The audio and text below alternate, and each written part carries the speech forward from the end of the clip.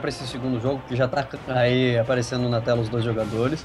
E, cara, eu acho que esse mapa é muito propício para roer.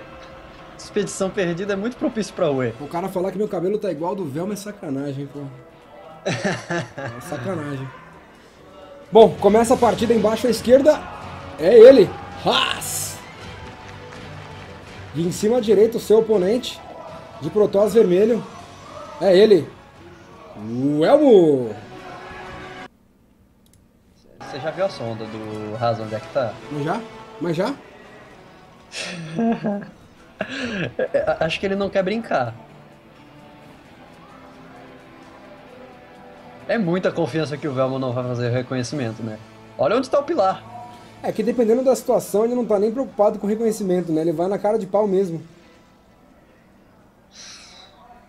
Ele talvez conte mais com a proximidade do que com surpresa, sacou?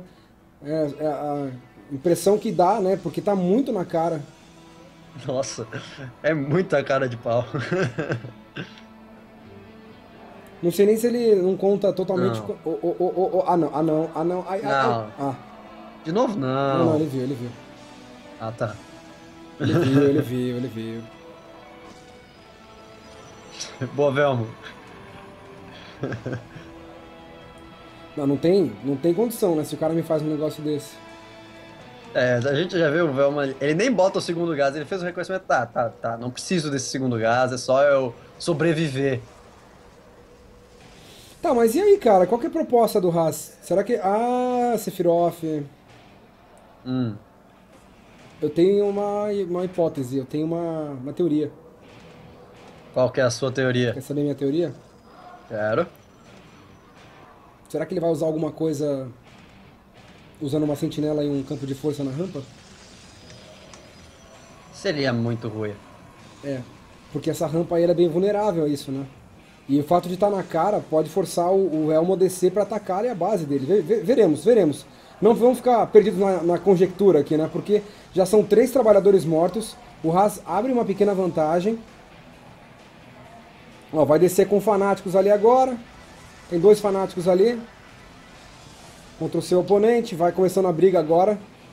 O jogador Velmo vem com fanáticos para a linha de minérios. Os, o, as sondas juntam agora em volta, vão brigando contra os fanáticos do jogador Haas. Eles viram, vão brigando uns contra os outros, matando o máximo de dano econômico possível. Dois de dano, dois, é, duas sondas eliminadas só. E o Haas é. nesse momento tem 17 trabalhadores. O Tormento ficou pronto, ele vai. Bom, ele vai conseguir atacar esses fanáticos. Vira no que está mais avariado ali agora. E agora, bom, agora já foi. É, o Velmo defendeu, mas perdeu muita tro... muito muita sonda. Ele não tem como se ele não retribuir esse dano que o Raz deu, tá muito complicada a vida para ele. Sephiroth. Oi. Vamos ser claros. O o Raz não matou o Velmo, não fez nada disso nessa partida aqui.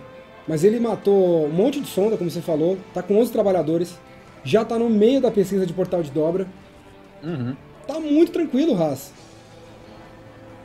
É, o que o Haas não pode fazer é deixar esses tormentos chegar com os fanáticos, porque tem três tormentos, dois fanáticos. Se subir essa rampa, o Haas vai ficar numa situação bem complicada. É, parece que não vai ter muita opção não, viu? Se adianta aqui com o núcleo da nave mãe, o Haas vai brigando, vai atacando os fanáticos, enquanto o tormento ali do lado esquerdo vai atirando e correndo, atirando e correndo, diminuindo o máximo possível o dano que os fanáticos vão causar. Vem com a sonda para se defender, olha no canal nave mãe, não quer gastar sobrecarga. Não tem. Você tá de brincadeira que não rolou sobrecarga, não deu tempo de fazer ali. A sobrecarga não estava pronta, a guerra de micro está rolando, acelerando ali a produção de unidade enquanto vai pesquisando a tecnologia de, trans, de transdobra. O jogador Haas, o jogador o Elmo vai atacando, vai fazendo o contra-ataque dele, produzindo um tormento para se defender, refaz o núcleo da nave-mãe para correr atrás do preju, fica pronta a tecnologia de, tra de, de transdobra, começa a perder trabalhadores, o Haas, o bagulho sai um pouco fora do controle, tem que transformar logo esse é, portal num portal de dobra e perdeu bastante trabalhador, o Haas, agora ele que tá para trás, hein. E olha só o que o Velmo tá tirando por trás. Portal intergaláctico. Hum. Oráculo. Ah, então eu também faço. Então eu também faço. Você vai fazer, eu também vou fazer então. e o do Haas é proxy, hein? É, mas olha a diferença do, dos timings. O portal intergaláctico do Velmo vai ficar pronto antes se... O oráculo do Velmo vai ficar pronto antes do portal intergaláctico do Haas ficar pronto. O Velmo vai ver. Nossa. Ah, ele vai ver. Ai, caraca, ele viu o pilar, ele viu o pilar. Ele viu o pilar. Que que é isso? Nossa, meu, tá muito bem o Velmo, já tá tirando Fênix. É, ele sabe o que, que ele tá enfrentando, ele conhece esse tipo de jogador provavelmente. Então tá bem na fita, sabe que tem que se defender. E cancelou o Haas. Haas cancelou. É, o Haas cancelou, ele recuperou os recursos e vai fazer um ataque de chão mesmo. Vai fazer um ataque de chão mesmo, vai utilizar os portais na, na linha de portal de dobra mesmo. E vai para cima do Velmo. E é interessante a jogada, viu? Porque o Velmo parece que não tem núcleo da nave mãe. Não tô vendo núcleo da nave mãe pro Velmo nesse momento aqui. E isso vai fazer toda a diferença, porque ele não vai ter sobrecarga. O Haas pode talvez ter ali ou convocação em massa, se for o caso, ou a transobra temporal para atrapalhar o micro.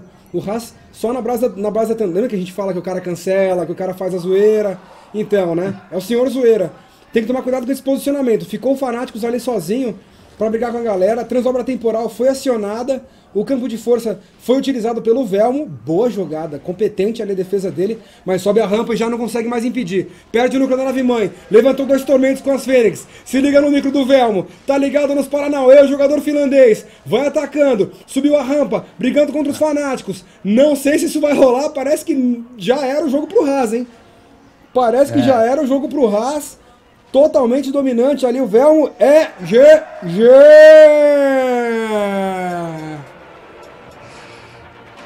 É.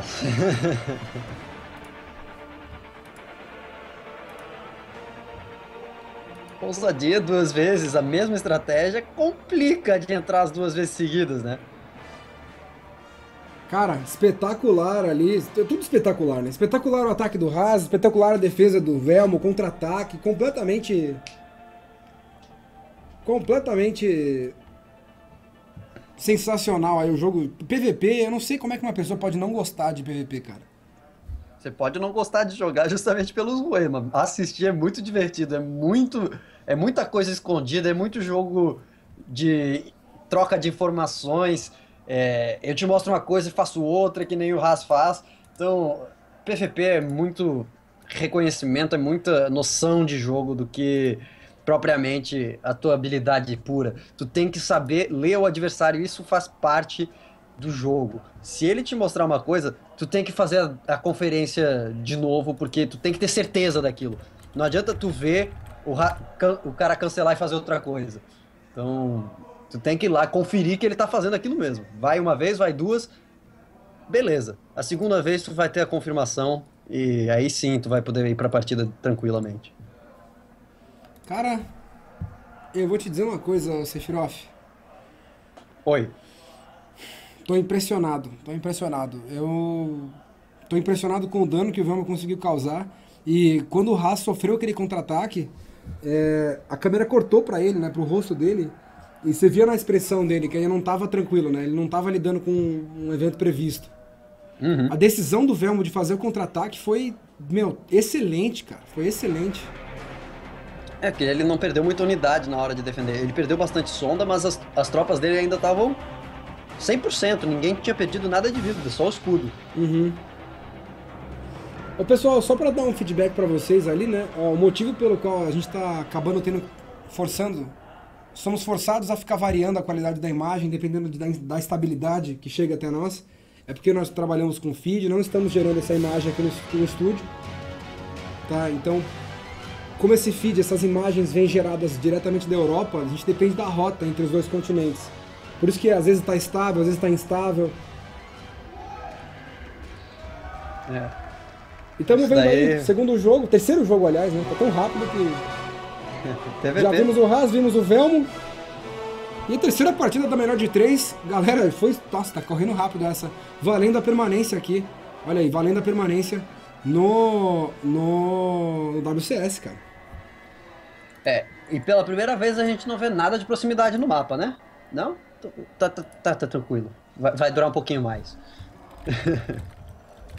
Pô, se bobear, a gente vai ter uma partida que dura o quê? Uns 10 minutos, então? É, por aí. Talvez 9. Ok, nove minutinhos eu acho que tá na medida. Acho que é um PVP, PVP adequado. Vamos vendo ali, assimilador saindo do, dos dois lados ali na principal pro jogador Velmo. É. Os dois gases também em tempos parecidos, então. Uhum. Vamos com calma aí, galera. Não tem nada de bizarro nesse jogo. Só o Velmo tá mandando o scout e o Haas também vai, acho que vai dar uma conferida ali na sua natural.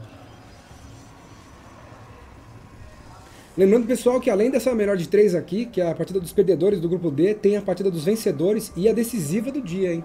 A decisiva do grupo D, aliás. Então, tem essa melhor de três acabando, tem mais outras duas. E aí a gente encerra por hoje para amanhã começar nas quartas de final. Depois a gente vai dar uma repassada em como é que foi o dia e tudo mais. Mas, cara, cada jogão que a gente já viu ainda tem mais muita coisa pra gente ver hoje e amanhã.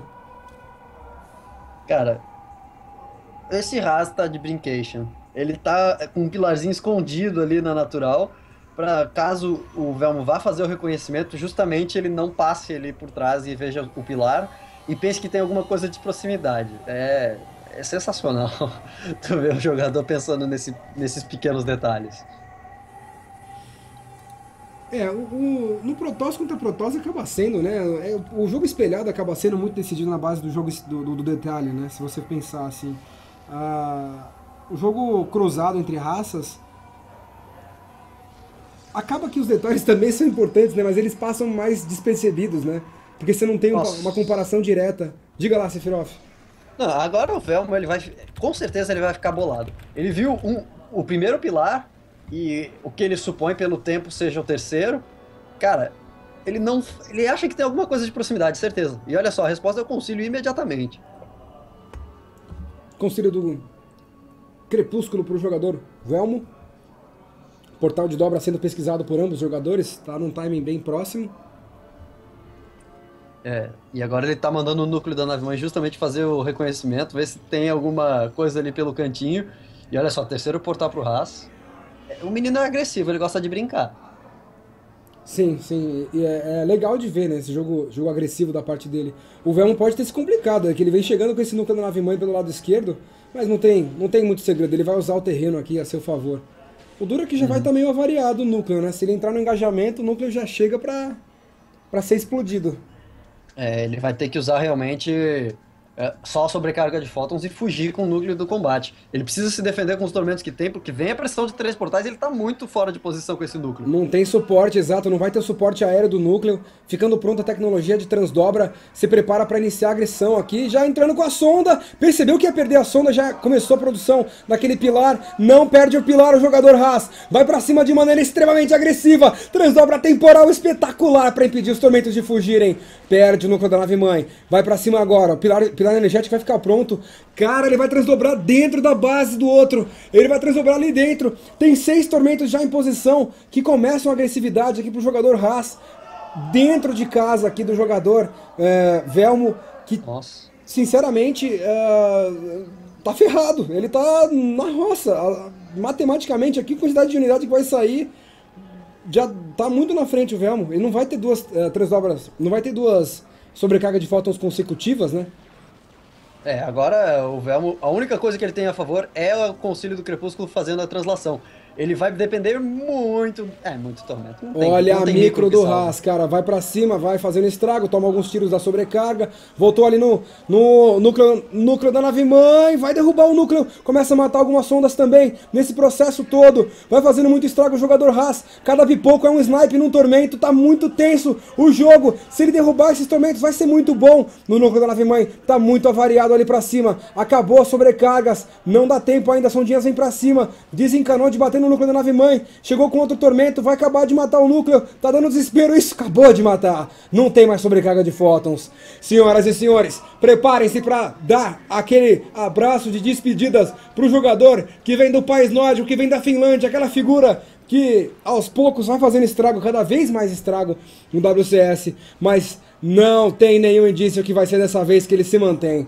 Não tem nenhum indício, porque o Haas vem para dar show e quem vai dar tchau é aquele rapazinho de franja pro lado que dá GG. O nome dele é Velmo, então vitória pro Haas!